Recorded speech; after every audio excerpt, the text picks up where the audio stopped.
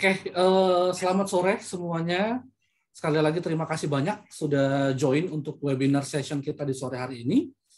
Uh, perkenalkan, nama saya Franklin.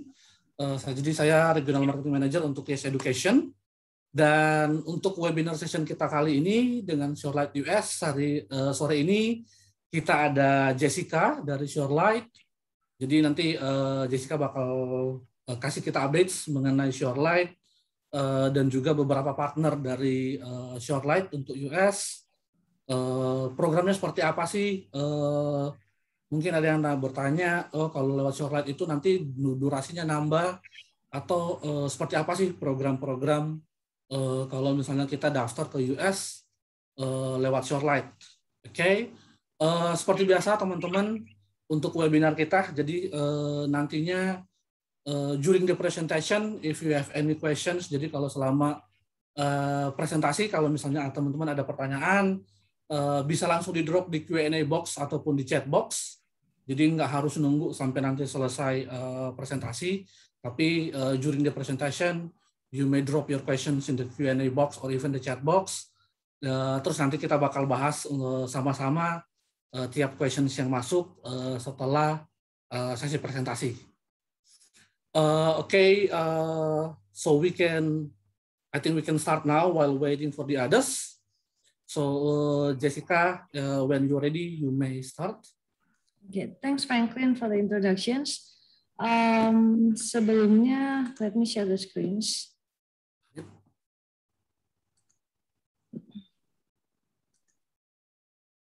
Udah kelihatan ya semuanya.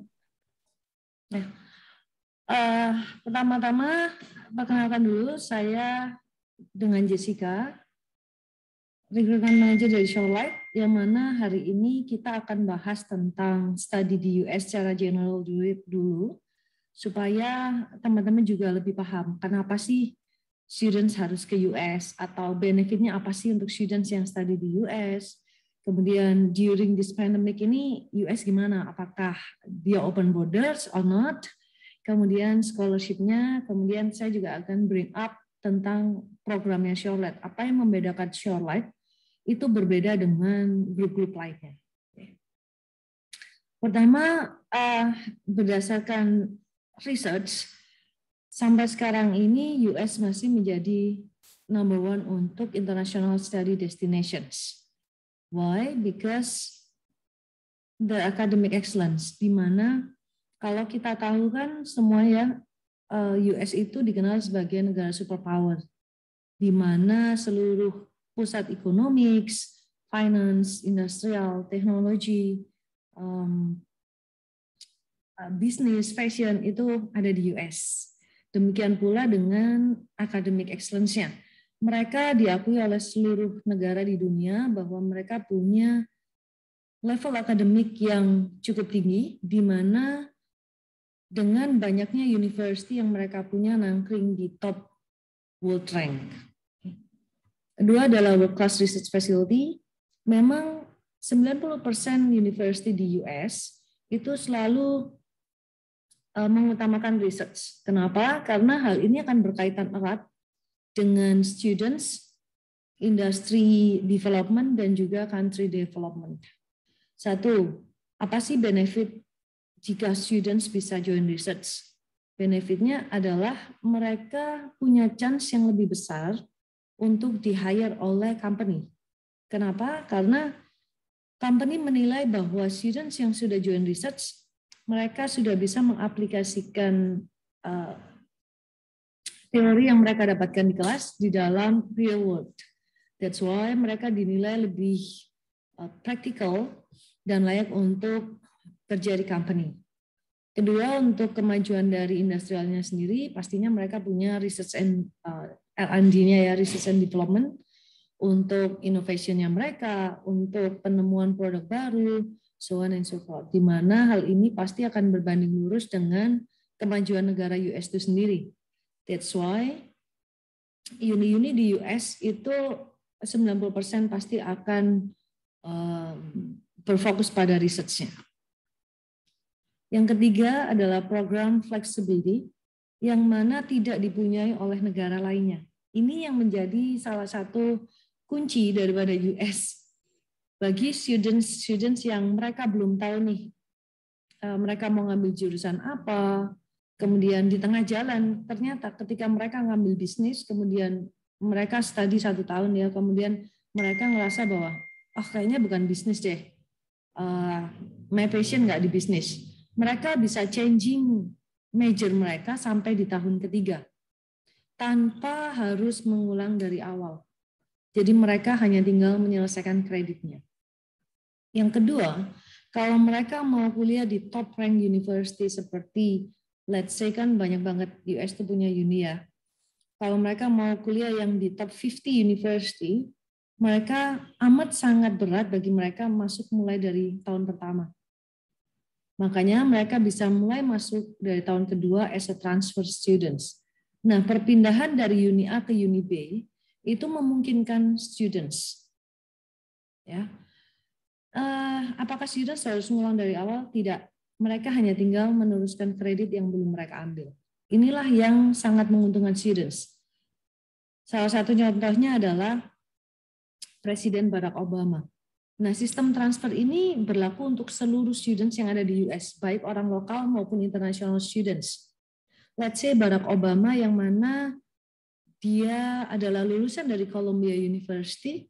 Kalau kita tahu kan Columbia University itu top one of the best di dunia ya.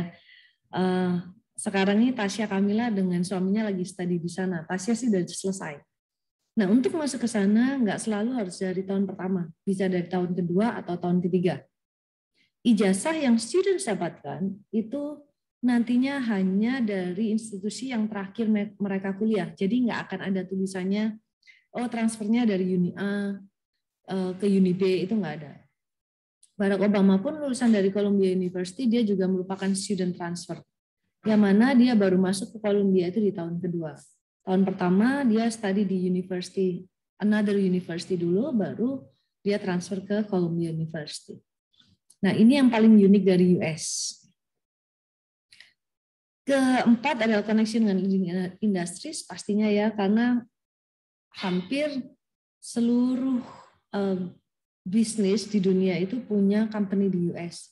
That's why opportunity untuk students untuk find a job it's very limitless. Tergantung sebagaimana students ini aktifnya gimana dan memanfaatkan support dari university. Karena setiap university itu pasti akan ada university career fair Nah, career fair di sini yang datang bukan sekelas kayak uh, misalkan let's say uh, sekelas hanya startup, tetapi itu sekelas kayak Google, Amazon, Apple seperti itu, giant tech companies.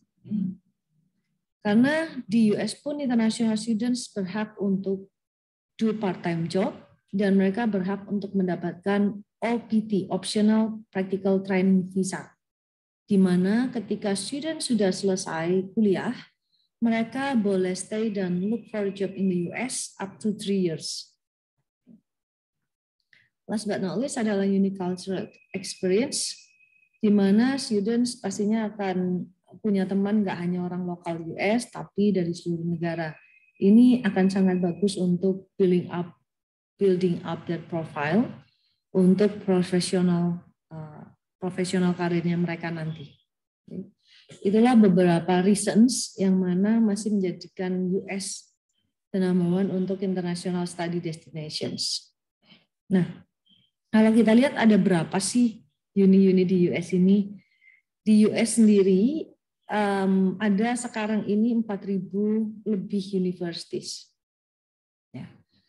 Nah, kalau kita bicara US, uh, ranking di US saya akan selalu pakai acuan dengan US News World and Rank. Kenapa? Karena it's unfair for me untuk compare US dengan negara lainnya, di mana negara lainnya mereka memiliki universities itu kurang dari 200 universities.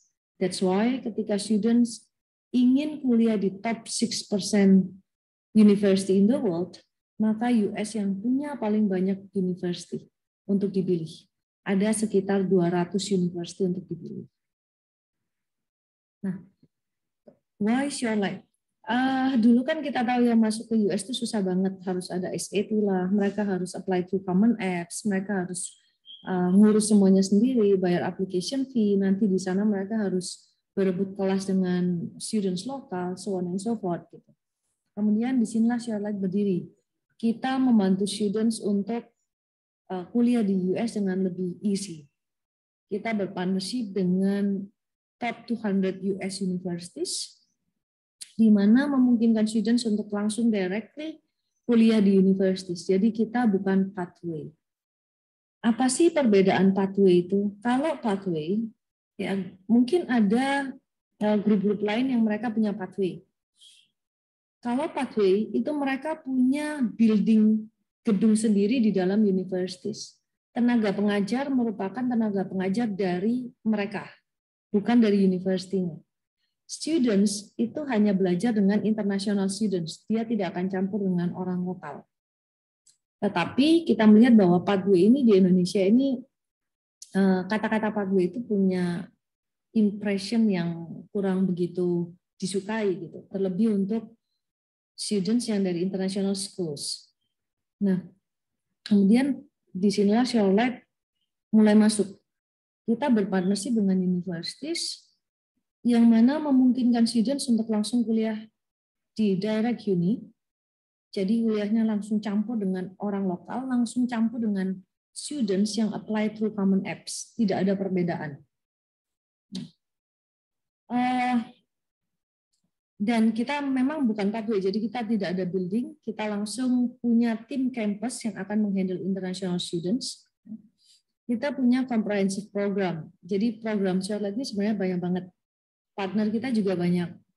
Mungkin nanti letteran kita akan kupas ya satu-satu mana sih yang memang di Indonesia ini sangat populer. Gitu.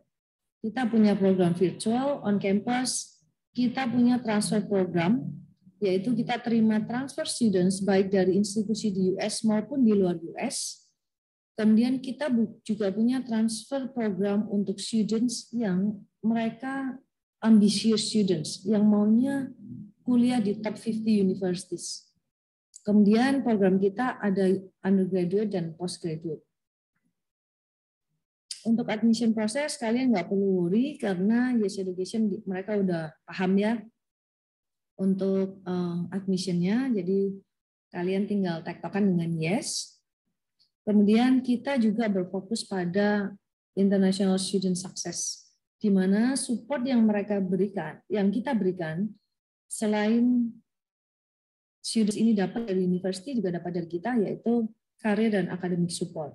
Karir ini uh, free program dari kita yang mana akan help uh, student-student sekalian untuk at least mendapatkan satu kali internship dalam masa study.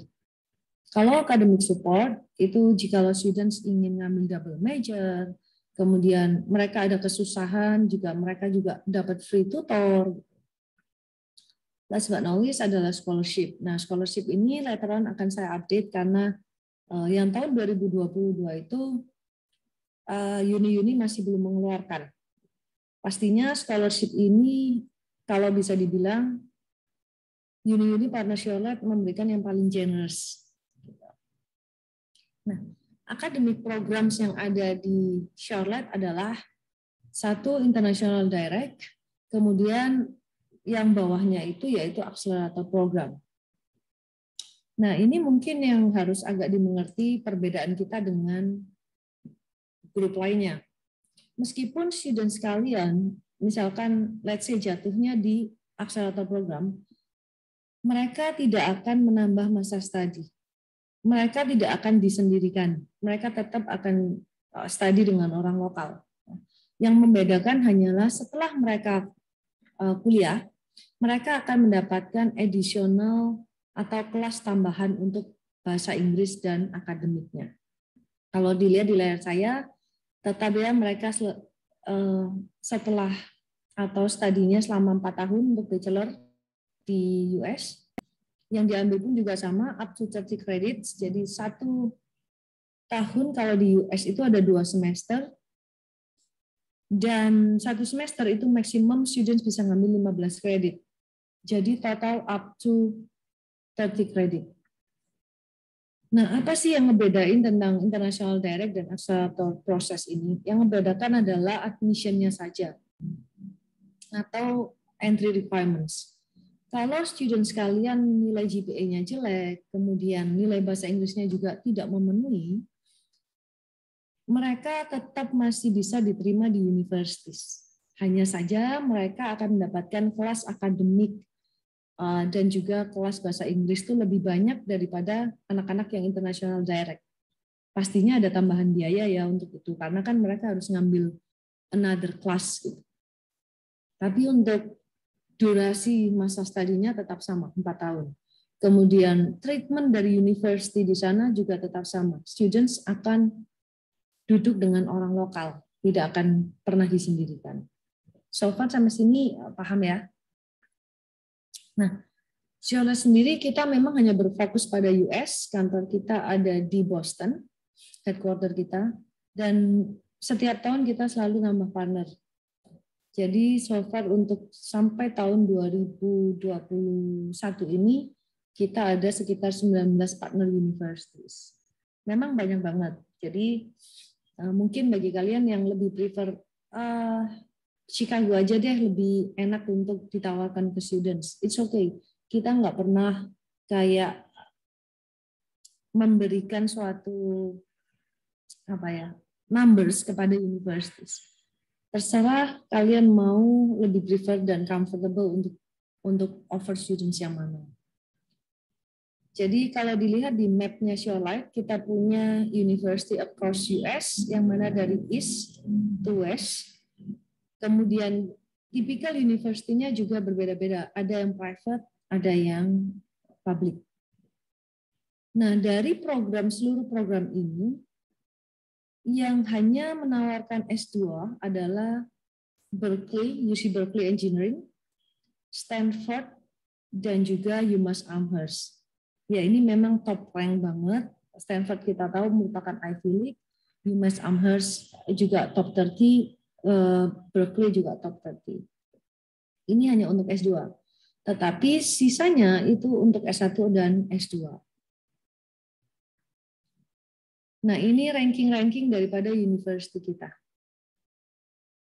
Again, kalau saya bicara, uh, kita talk tentang ranking, pastinya akan hanya compare di US ya. Jadi, misalkan nih Gonzaga, dia ranking 80 dari 4.000 universities. Nah, uni-uni yang mereka rankingnya di top 200 itu merupakan tier 1 university. Itu kalau di US.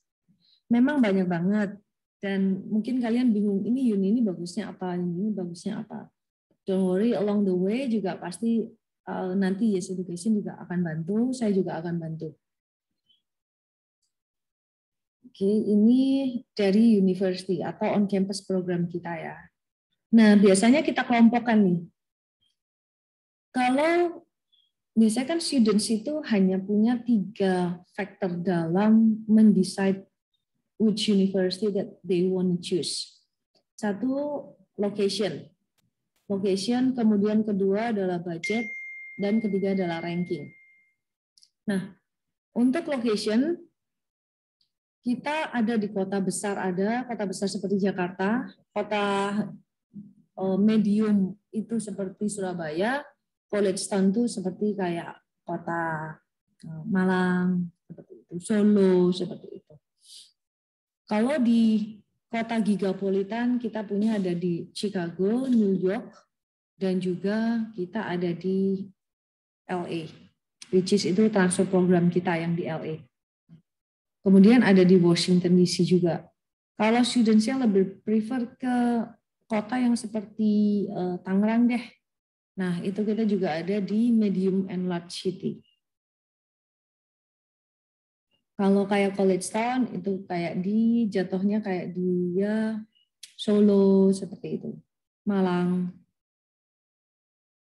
Nah kalau andai kata kalian ketemu students yang dia lebih concern tentang budget, nah kita juga bagi tiga kategori. Ada yang ini untuk tuition fee ya, untuk uh, uang sekolah selama dua semester. Ada yang di atas 40.000, ada yang middle tier 28 sampai 35 dan ada yang low tier 18 sampai 24. Ini belum terpotong oleh scholarship.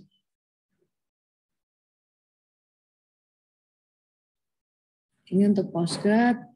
Nah, kalau students-nya lebih prefer arah ranking, maka kalau di US itu gampang. Kalau tentang ranking, pasti sekolah private atau sekolah swasta itu rankingnya pasti lebih tinggi daripada ranking publik. Karena historically uh, university yang ada di US itu dulunya pertama kali ada itu semuanya sekolahnya private. Kalau kita tahu kan ada Ivy League. Nah, that's private school semua. Jadi 20 dari 30 sekolah yang ada di top rank university itu pasti private. Even untuk orang US sendiri masuk ke private schools means elite. Nah, jadi kalau student sekalian sukanya lebih ke arah ranking, pastinya akan ditawarkan private universities. Perbedaan yang kedua adalah dari school size. Kalau private itu lokasinya lebih uh, school school size-nya lebih kecil, kelasnya juga lebih kecil. Kalau public itu lebih besar, jumlah students juga lebih banyak. Kalau private, uh, karena dia kelas kecil, maka attention professor ke students itu lebih dapat compare dengan public universities karena public uni itu juga uh, mereka kan enrollmentnya lebih banyak, studentsnya lebih banyak.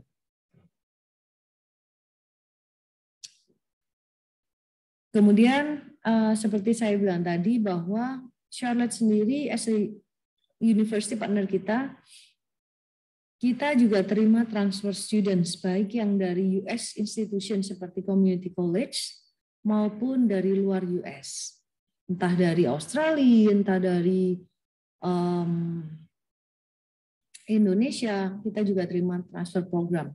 Hanya perlu saya highlight di sini bahwa seluruh kredit assessment atau berapa kredit yang bisa ke transfer itu kalau di US akan diakses upon arrival. Jadi ketika students datang. Tapi luckily um, beberapa university partnership life itu kita bisa bantu untuk kasih pre credit assessment atau kita singkat dengan PCA. Ini merupakan screening awal dari university kira-kira berapa kredit yang bisa ke transfer. Tapi PCA ini merupakan estimated estimate hanya estimationnya saja ya.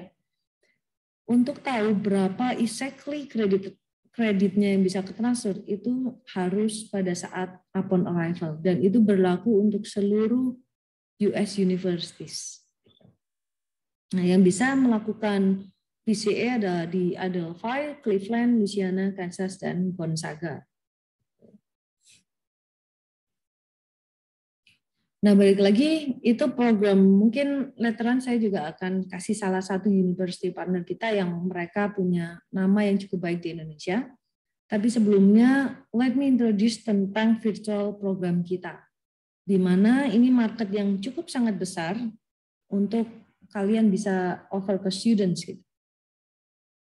American Collegiate ini sebenarnya ada dua program, yang satu live, yang satu on campus. Kalau on campus merupakan transfer program itu khusus untuk anak-anak yang mau ngincar ke top 50 universities. Tapi kalau live kalian bisa tawarkan ke anyone. Nah, program American Collegiate Life atau saya singkat dengan ACL ya, itu program live ini kita punya jauh sebelum pandemik. Jadi lima tahun sebelum pandemik kita sudah punya teknologi live yang mana dipakai oleh Stanford dan juga UMass Amherst. Kemudian dengan adanya pandemik, akhirnya kita di force atau dipaksa untuk melaunching yang UG. Harusnya kita mau launching yang UG ini di tahun 2021 ini. Tapi karena pandemik ya terpaksa kita launching karena students kan nggak bisa berangkat saat itu. Nah, apa sih perbedaan live dan online? Let me share this video first. I'm used to teaching in a classroom with, with students live in front of me, and the technology was very similar to that. My first impression was that it was very natural. When I'm teaching, I'm not aware of the fact that we are not in the same classroom. 高技术的，就是说，在这个 呃教室里面我能够跟呃老师有很好的互动，因为是整个的这个屏幕效果还要好， 画面也很清晰，老师的老师那边就能够接收到这种信号，然后他也能够给我们及时的反馈，呃是对还是错。 You will feel that the professor is standing in front of you and delivering the courses. We do not have any barrier communicating with them. You choose one of these. Is it millions? Billions? Would you call this an online course? This is an online course. This is a total learning environment. So what are some costs? Anyway. Delay. Delay is a great example. Sure, I'm Lots of things. Bandwidth for one. very good. Some lectures are delivered to a virtual classroom. Connect from your home or office. Hello, everybody. How are you doing? Hello. So, you don't have to be a math genius. All the algorithms you need are already embedded in code that you can access and use. Any any question? Yes, Yon. But to do the actual programming, what skills do I need? It's a great question. Let me just say that the skill you're going to need, you will get in this course. Okay. All right.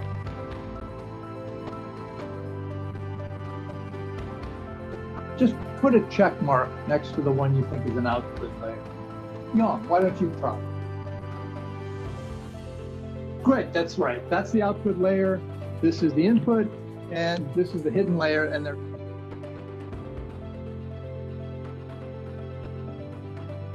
So don't take an online course. Connect live to the best instructors. Nah, itulah perbedaan live dari online traditional learning. Mereka kita menggunakan teknologi, kita punya studio yang mana kita bangun di partner universities kita sehingga memungkinkan students untuk berinteraksi langsung dengan profesor. Enggak kayak kita Zoom gini. Zoom hanya perantara, tapi kita punya salah satu platform. Ya, jadi students merasa eh, dia seperti di kelas. gitu. Nah, ini di, diajarkan langsung oleh profesor dari UMass Boston. Kemudian transkrip yang akan students dapatkan juga langsung dari University of Massachusetts Boston. Eh, students ngambil mata kuliahnya UMass Boston. Nah, program ini merupakan program 1 sampai 2 semester yang mana marketnya untuk anak yang dari kelas 11 naik ke kelas 12 dan juga dari kelas selesai. Kalau ada students yang berniat mau ke US, mereka bisa curi start dulu dengan ngambil program ini. Kemudian kreditnya mereka akan carry on ketika mereka uh, berangkat ke US, sehingga di US mereka tinggal menyelesaikan kredit yang belum diambil. Itu sekilas tentang AC Life. Uh, sekarang mungkin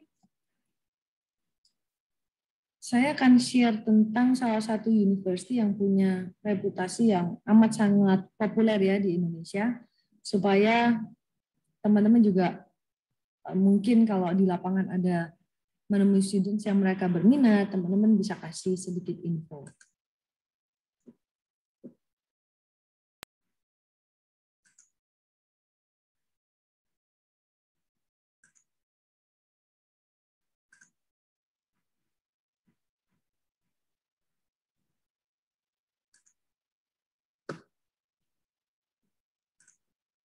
Nah, salah satu yang paling populer adalah University of Illinois at Chicago. Kalau kalian dengar bahwa ada yang namanya UIUC yang sering disebut anak-anak itu kan UIUC itu yang top rank.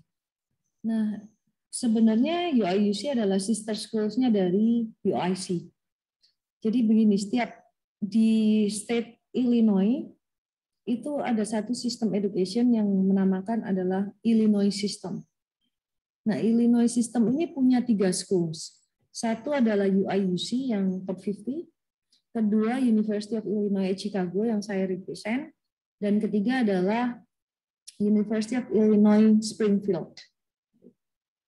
Salah satu mereka punya tiga, mereka berada di tiga location yang berbeda. tapi sama-sama di state Illinois. Yang kita bawa adalah yang kita represent adalah University of Illinois Chicago. Let's see dulu ya.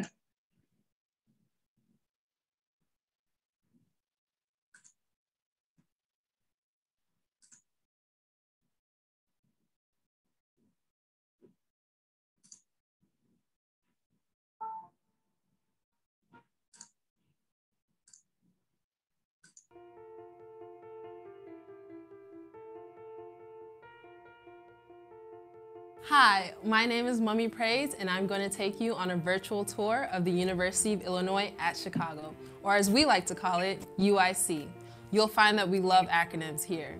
I'm excited to show you one of the most diverse campuses in the country and Chicago's only public research university. Let's get started. The first stop is our campus union known as Student Center East, or SCE. Student Center East is one of the main activity hubs outside of classes. Here, you can grab a bite to eat at one of its many restaurants, meet up with friends and relax, and you can even head for a quick bowling game at the SCE Bowling Alley. It also houses the East Campus dining halls, the UIC bookstore, and is the center for meetings and conferences and student organizations on campus, so you can always attend a talk or event here too.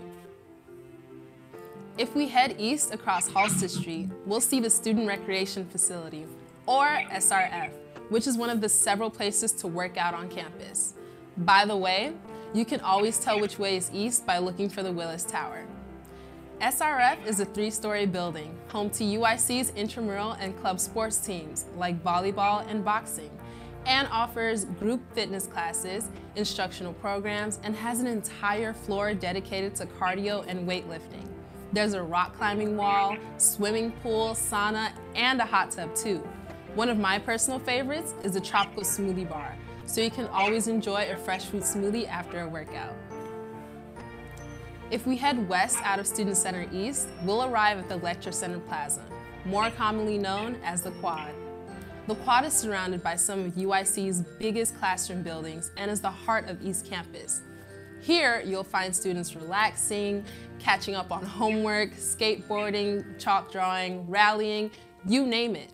The Quad is also most active during the annual Student Involvement Fair, where over 200 of UIC's student organizations gather to provide food and great music and free goodies in hopes of recruiting new members. Now let's take a quick look at some of our classrooms, labs, and studios. From big lecture centers to small discussion and seminar rooms, you'll find lots of different classroom types supporting many different learning styles.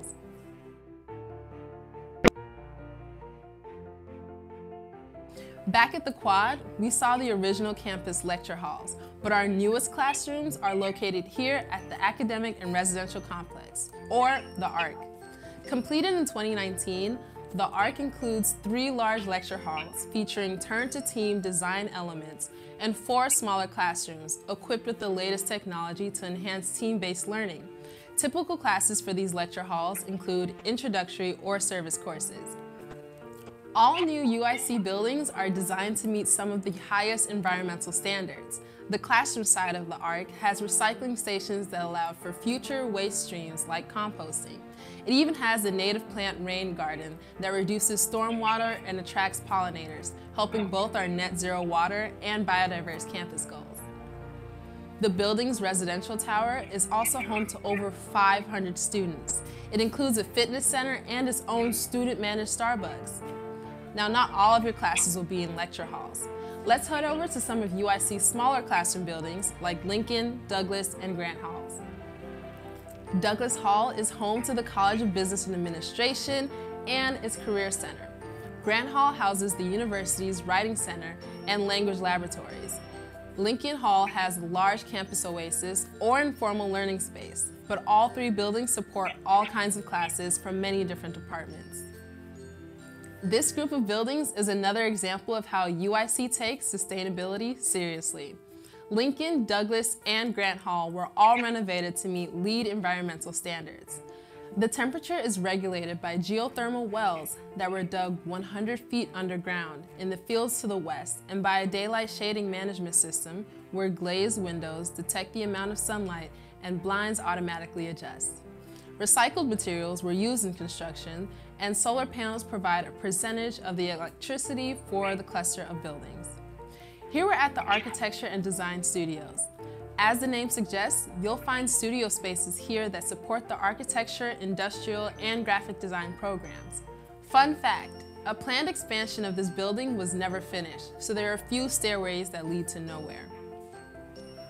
On the other side of campus, we have the Science and Engineering Labs, which house laboratories for all fields of science such as biology, chemistry, anatomy, and an electronic visualization lab, an interdisciplinary and interactive research laboratory managed by the College of Engineering and the Architecture, Design, and the Arts that focuses on visualization and virtual reality. It's even where the blueprints for the original Death Star from the Star Wars movies were created. The UIC Theater is next on our tour. It is the black box theater seating up to 200 guests. The space is flexible and can support a variety of shows. The UIC Theater Department produces four shows a year, in addition to student-led projects. The theater community puts a lot of Chicago's local talent to use. Our students often have guest directors from nationally renowned and local theater companies like Steppenwolf and the Looking Glass Theater. Across from the theater is the UIC Music Department, which hosts vocal and instrumental ensembles that are open to majors and non-majors alike. Looking for a quiet place to study? Let's head over to the library. With over 3 million visitors last year, the Richard J. Daley Library serves both UIC students and the broader academic community. The library provides access to both physical and digital resources, housing rare books, printed materials, and the university archives, which specialize in the history of Chicago. The library is Nah, um, sorry potong soalnya divided into memang agak lama. Nah, um, kenapa sih UIC ini jadi yang paling populer di Indonesia? Satu, dari locationnya sendiri. Dia the only one, satu-satunya public research university yang locatednya yang berlokasi di downtown area Chicago. Jadi di US itu ada tiga kota besar yang jadi penopang Amerika yaitu New York, California, dan Chicago. Dan bisa dibayangkan kalau student studinya di downtown, it's very convenient untuk students. Kemudian dia di big city, yang mana karirnya uh, job opportunity juga lebih banyak. Seluruh um, Fortune 500 companies itu ada di Chicago. Dari segi rankingnya sendiri, UIC sudah masuk dalam top 100 universities. Tahun ini dia ranking 112. Untuk major yang terkenal adalah architecture, design, baik itu industrial maupun grafik, kemudian business analytics yang mana merupakan gabungan dari bisnis dan data science, uh, engineering programs, di mana kalau engineering ini di US ada pengelompokan ya. Jadi uh, bagi sekolah-sekolah yang masuk dalam top 100 engineering schools itu mereka merupakan Taiwan. Jadi satu lokasinya sangat strategis sekali. Kedua, rankingnya bagus. Ketiga, scholarship yang di-offer oleh University of Illinois Chicago itu cukup banyak, yaitu 10.000 US dollar per tahun untuk empat tahun. Jadi total up to 40.000 USD. Dengan tuition fee itu berkisar antara 32.000 sampai 34.000. Untuk majornya sangat banyak. Kita tahu juga kalau public universities pasti majornya lebih banyak daripada private uni. Kan kalau tadi di uh, campus store juga gede banget, sekolahnya memang gede banget. Jadi students bisa take shuttle, shuttle bus. Kemudian kalau dia mau ke kota, kalau dia mau jalan kaki, it's fine karena hanya 10 menit jalan kaki ke area CBD-nya. Kemudian kalau dia mau take public transportation itu untuk students kalau di US itu free, nggak ada bayar-bayar lagi. Ini mungkin later kalian juga bisa bermain-main di websitenya Shorelight, itu bisa lihat major-majornya apa aja. Nah, selain itu uh, UIC sendiri itu punya Global Academy Service. Ini service yang khusus untuk international students ya, yang apply to Life. Mereka akan dapat tambahan benefit yaitu tutoring, academic, um, counselor seperti itu. Selain itu juga nantinya ada career advisor juga.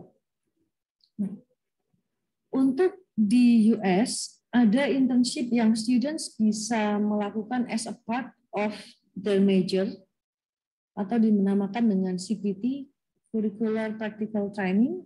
Ada yang dia bisa lakukan di luar masa di luar uh, study time mereka. Jadi ketika summer holiday mereka bisa ngambil internship.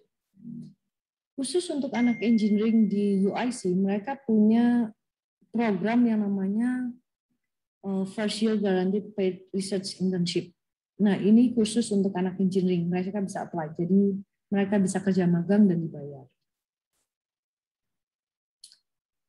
Chicago, believe me, nggak ada yang nggak suka living in Chicago karena kota besar, semuanya ada, gampang untuk cari apa pun, uh, the most diverse city, jadi pastinya mereka lebih welcome dengan internasional ya, karena mereka memang majority itu merupakan pendatang.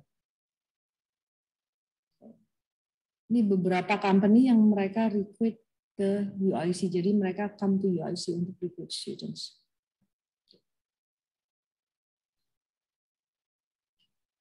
Selain itu, UIC juga punya uh, career khusus untuk international students.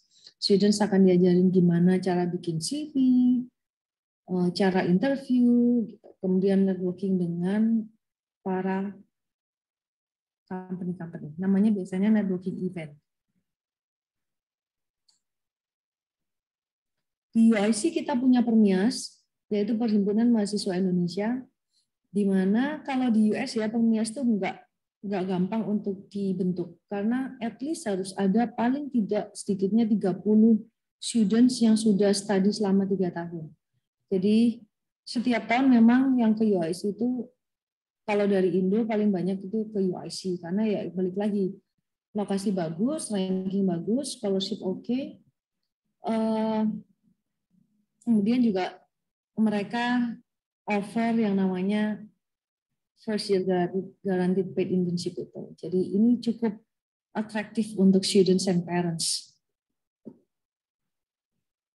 Nah, untuk tahun pertama, students uh, required untuk stay at dorm. Jadi di US itu untuk freshman, students memang harus tinggal di dorm. Nah, dorm ini ada ada yang double room, ada yang single room, dan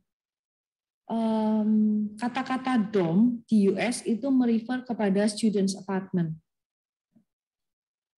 Kalau misalkan ada students tanya, kalau sharing, sharing dengan siapa? Enggak tahu, kita yang menentukan adalah universitinya.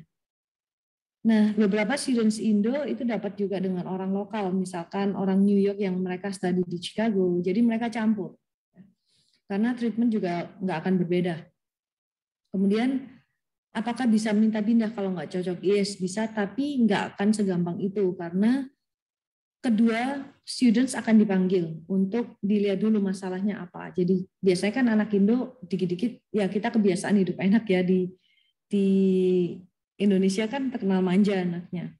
Tapi so far sampai sekarang ini belum ada student saya yang selalu minta pindah, nggak ada. Mereka biasanya cocok dengan uh, roommate-nya dan itu salah satu skill di mana mereka bisa bangun untuk sosialisasi dengan students lainnya. Dan di domnya ya udah ada komplit ya semua fasilitinya. Uh, makan kalau di US itu mereka punya dining hall, tadi makanya seperti di hotel buffet, mereka tinggal swipe the card, mereka bisa ngambil everything. Setiap uni punya dining hall, biasanya kalau public university dining hall-nya lebih banyak, makanannya juga lebih uh, beraneka ragam dari western ke ke timur tengah ke atau Asia atau yang vegan diet itu biasanya ada di universitinya jadi nggak perlu bingung. Untuk campus safety di US, especially di UIC, itu kita ada 911-nya universities. Dan setiap uh, tembok di UIC itu ada tombol darurat. Ketika students feels insecure, kemudian mereka they need police untuk lift them up ke dorm, mereka tinggal pencet aja, mereka akan terhubung dengan 911-nya universities. Jadi memang polisi akan berpatroli karena mereka punya polis departmentnya sendiri inside di campus.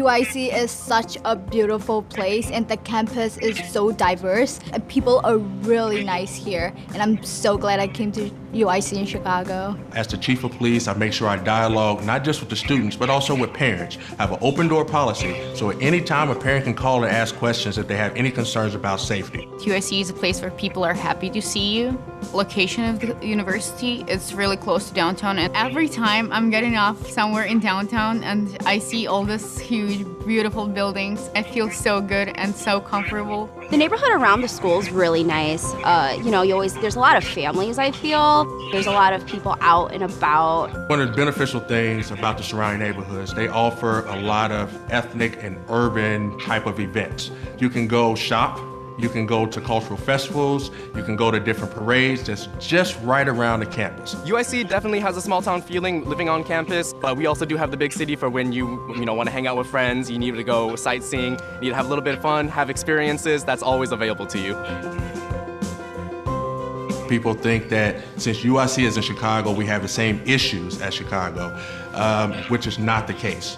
Uh, we do get crime on campus like any other campus in the United States. However, our, our crime on campus is very minimal. Campus numbers are a lot lower than the overall numbers in Chicago.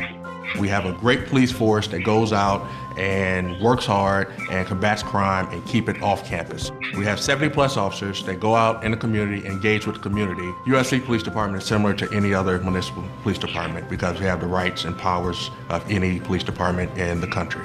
UIC provides a lot of amenities to allow our students to feel safe on campus, no matter where they are, no matter where they're going. We have over a thousand cameras on campus to be able to see what's going on. The emergency call boxes I see very frequently on campus. There's one almost stopped at like every street, so we can easily just press the button and then uh, UIC Campus Police is there.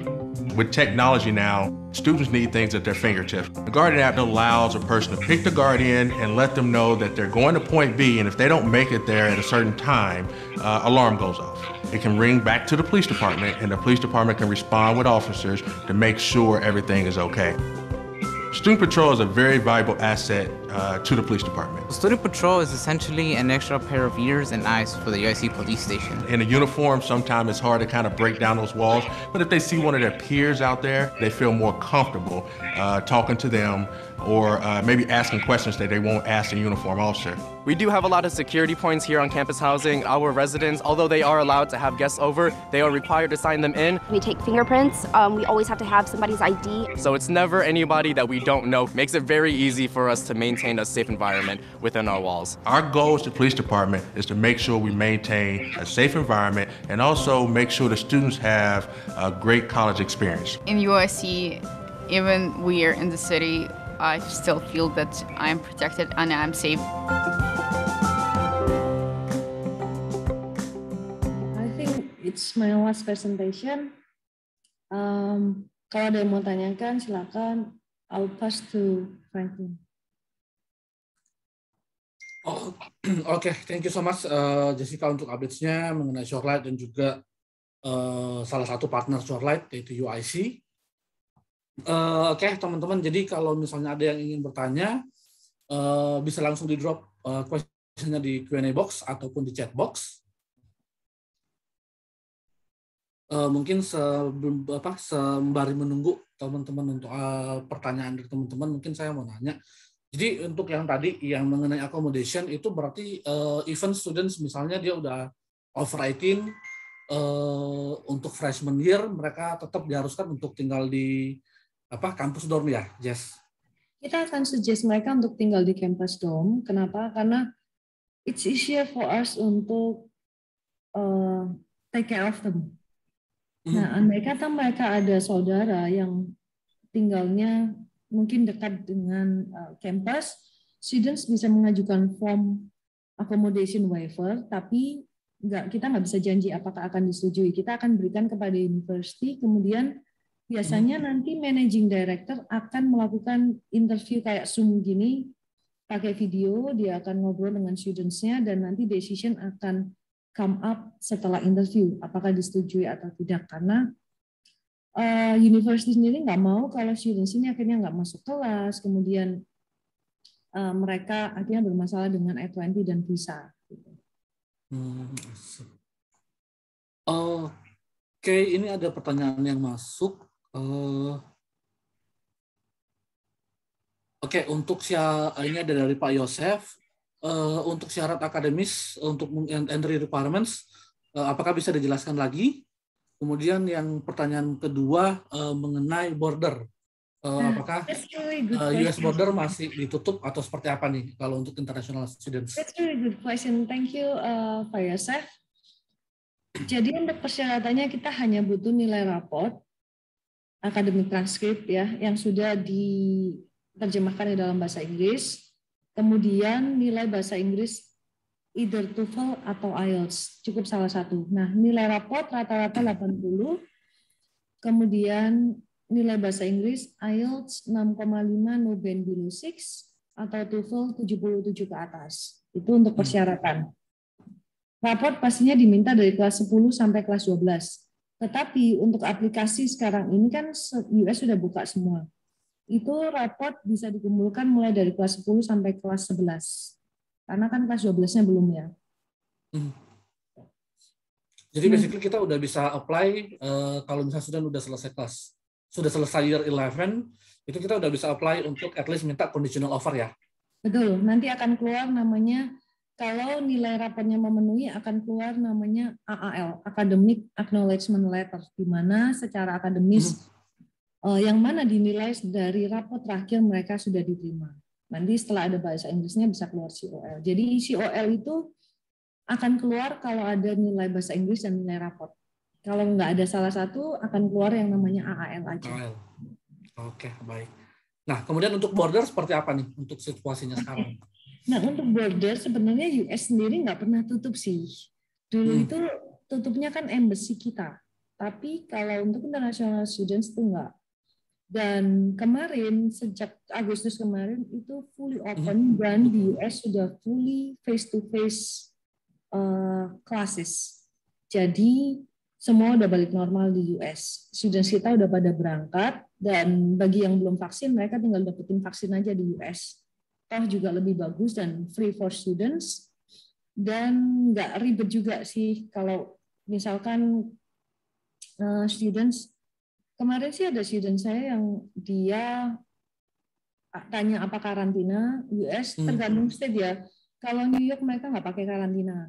Kalau UIC mereka nggak pakai karantina.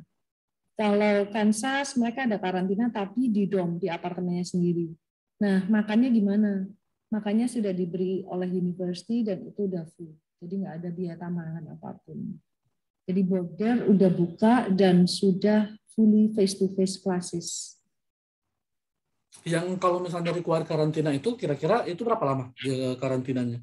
Karantina berbeda-beda setiap state. Ada yang tujuh hmm. hari, ada yang sampai 12 hari. Oh, oke, okay, baik. Tapi sekarang ini sebagian besar di US sudah nggak pakai karantina sih, Van. Mm -hmm. Even parents yang nganterin anaknya kemarin juga mereka vaksin lagi di US, ngambil yang Pfizer. Oh ya. US nggak pernah ke border. Hmm. Oke, okay, jadi uh, itu uh, jawaban untuk pertanyaan dari Pak Yosef. Jadi uh, basically student uh, untuk entry requirements, jadi cuman uh, butuh raport sama English uh, apa namanya English proficiency-nya. Dan untuk proses aplikasi bisa dimulai ketika student sudah uh, misalnya sudah selesai year 11, dia sekarang uh, masih sementara kelas 12 uh, itu kita sudah bisa uh, mulai submit application. Dan kemudian kalau untuk border, again tadi sudah dimention eh, US border sebenarnya nggak pernah ditutup, jadi international students itu udah bisa travel to US untuk studinya Jadi udah bisa mulai face to face classes seperti itu. Semoga menjawab untuk pertanyaan pas dari Pak Yosef. Kemudian uh, apa namanya? Mungkin uh, aku lanjutin pertanyaan ini. Nah, kalaupun uh, misalkan border udah dibuka nih, tapi kalau misalnya student mau start online dulu, itu bisa nggak kira-kira? Jadi gini, ada beberapa partner uni kita yang nggak bisa, mereka harus berangkat. Mm-hmm. Ada beberapa partner uni kita yang mereka masih cukup fleksibel bisa. Nah, kalau students-nya masih belum mau berangkat, kita bisa tawarkan menggunakan ACL, American Collegiate Life tadi. Yep. Mm-hmm. Dia ngambil satu semester di Indonesia, kemudian nanti tinggal ngambil uh, kredit sisanya di sana tanpa harus ngulang lagi. Jadi apa yang sudah dia pelajarin di ACL itu dia nggak perlu ngambil di university. Itu kayak menggantikan semesternya dia di US. Hmm. Kalau itu studentsnya ini ya, kalau itu students yang baru ya, istilahnya yang baru lulus kelas 12. Tapi kalau students yang istilahnya transfer, kayak let's say transfer dari community college, ya mau nggak mau hmm. mereka harus ke US, harus face to face. Karena kan yang mereka pelajarin udah most likely udah satu tahun dua tahun pertama udah GE-nya udah selesai semua. Betul. Jadi mereka harus nerusin sisanya di university. Karena US sudah benar-benar fully face to face. Kalau dulu hmm. pertama kali online, kemudian di tahun 2021 mulai hybrid. Jadi 50% online, 50% face to face dan sekarang udah face to face semua. Udah full ya.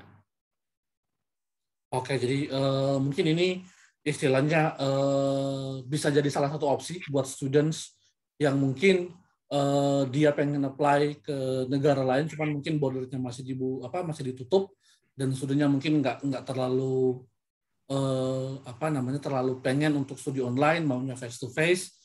Nah ini mungkin US bisa jadi salah satu opsi karena uh, bordernya sudah dibuka, jadi student pun uh, yang mau memang uh, experience uh, langsung.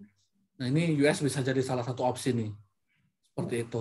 Kecuali kemarin ya, kalau yang uh, kemarin itu ada salah satu student saya yang dia benar-benar nggak mau berangkat dan kebetulan hmm. uh, Indonesia juga lagi di ban dengan beberapa penerbangan kan, jadi betul betul. Hmm.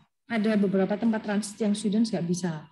Akhirnya kita uh, bilang ke universitinya, kita info bahwa dengan bukti juga ya pastinya bahwa di Indonesia lagi lockdown, kita lagi di ban, akhirnya mm-hmm. dia boleh sih ngambil online, dia dikasih ngambil online.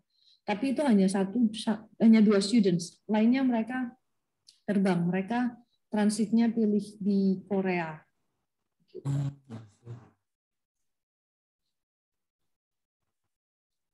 Oke, ini uh, belum ada pertanyaan lagi. Anyway, uh, seperti biasa, teman-teman, jadi kalaupun misalnya memang untuk sesi ini belum ada yang ingin ditanyakan, tapi nanti misalnya setelah sesi ini, biasanya kan nanti kalau sudah ada uh, ketemu student ataupun parents, kemudian ada inquiry-inquiry, baru biasanya nanti ada muncul pertanyaan. Again, uh, please uh, feel free to let me know uh, untuk any inquiries yang mungkin nanti teman-teman uh, punya mengenai uh, Shorelight. Uh, dan uh, hari ini kita bahas itu tadi baru fokusnya ke UIC, jadi mungkin ke depannya pun nanti kita bakal arrange lagi uh, another webinar session. Jadi kita nanti bisa bahas untuk eh, partner-partner uh, uni yang lainnya dari Shortlight. Jadi uh, mungkin bisa apa namanya teman-teman juga bisa tahu oh kira-kira uni yang lain itu seperti apa sih uh, programnya, entry requirement seperti apa. Kalau memang sudah nggak ada lagi yang mau nanya, uh, mungkin kita uh, sampai sini untuk sesinya hari ini. Uh, again tadi saya seperti yang sudah saya infokan, jadi nanti uh, anytime nanti setelah session ini pun kalau ada yang ingin tanyakan, please feel free to let me know, please uh, feel free to contact me. Oke, okay, nanti uh, any inquiries yang kita terima, kita akan pass to uh, Shorelight dan once we get the update, we will get back to you. Oke, okay, uh, terima kasih banyak teman-teman yang sudah join untuk webinar session uh, sore ini. Terima kasih juga. Uh, thank you so much, Jess. Waktunya. So Terima kasih banyak uh, untuk update-nya. Thank you. Yes, education. Uh, nanti kita uh, bakal berkabar-kabari lagi untuk any further inquiries.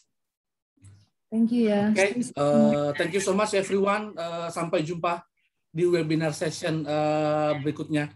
Stay safe everyone. Thank you.